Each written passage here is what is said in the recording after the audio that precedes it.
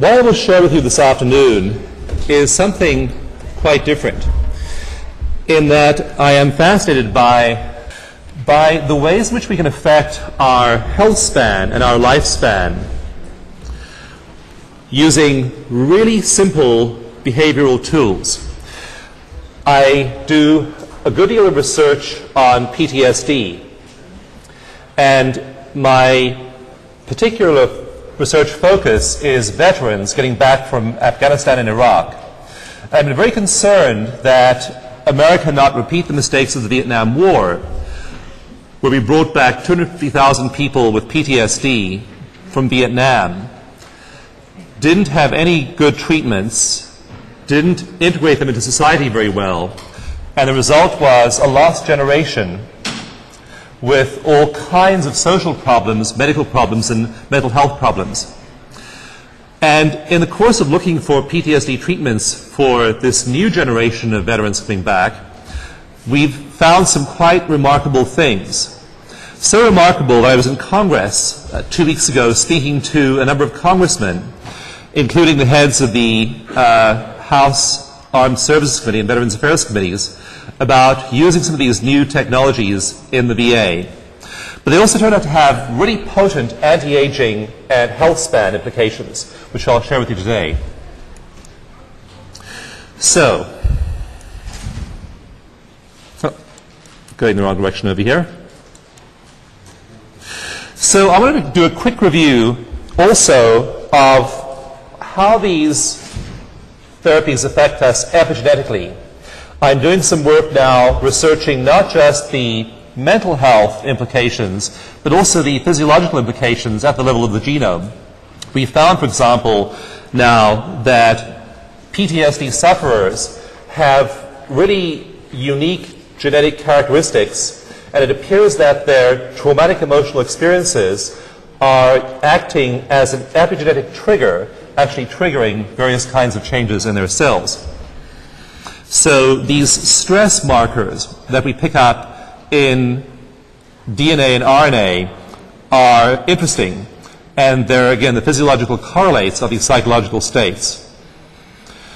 Now, just a very, very quick review here in three minutes or less about proteins. We know proteins are complex molecules. We know they have electrical charges at different points on their on their structure, that they fold over on each other. And we require these blueprints called genes to build them. Our bodies require the blueprints of the gene to build the, these very, very complex structures, of which there are over 100,000 in our body.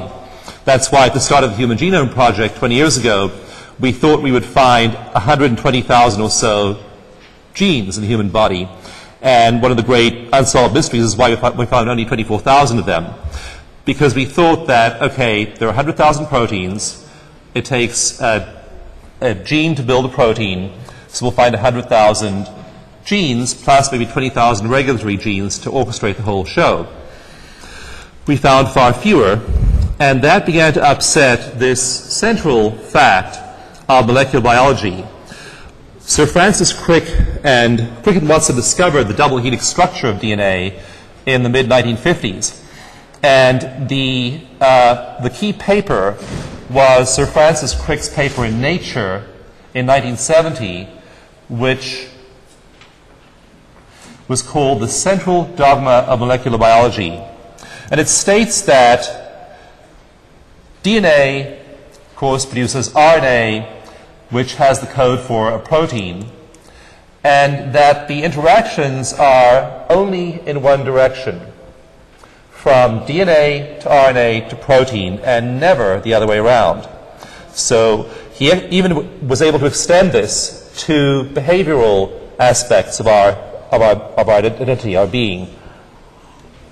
In his final book, Sir Francis Crick wrote that you, even your joys and sorrows, memories, ambitions, everything, is nothing more than the dance of your neurochemistry.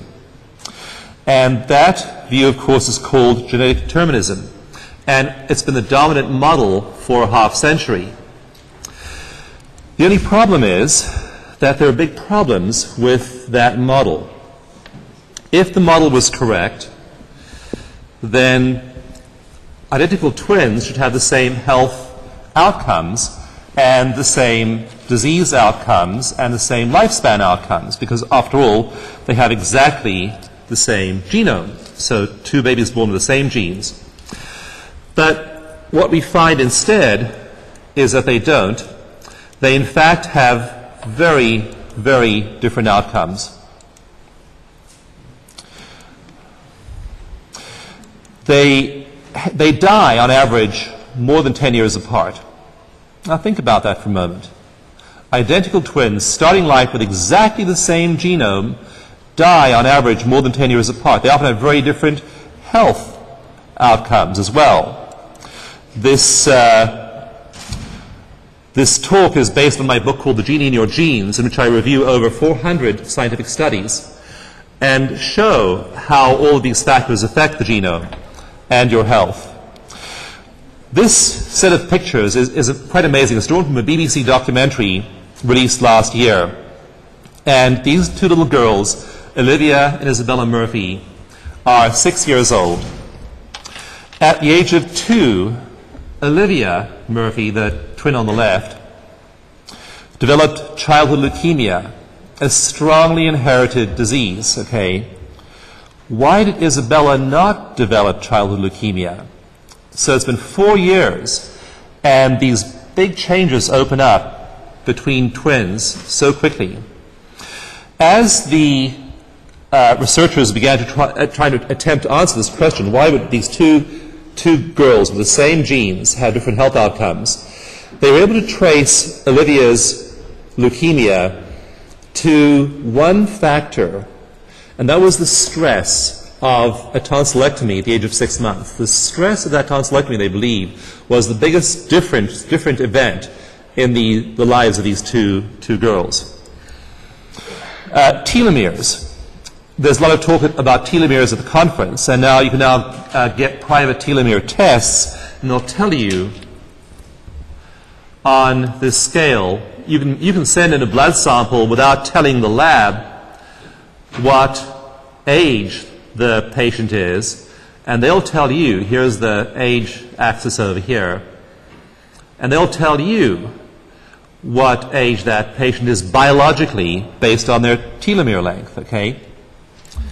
Well, they analyzed telomeres from these two identical twins, Sue and Sheila Wright, from Kent in the UK, and they found that their telomeres showed that biologically Sue was 10 years older than Sheila at the age of 39. Now, how by her late 30s, born with exactly the same genetic deck of cards, could the, the health and lifespans of these two people have diverged so dramatically in just four decades?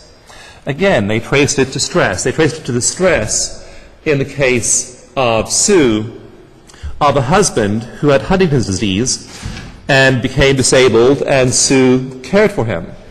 And the stress of taking care, care of him, he was verbally abusive, she gained a lot of weight, she began smoking, all the usual risk factors. But by, before 40, the biological age of her cells, as measured by her telomeres, was 10 years older than that of her sister.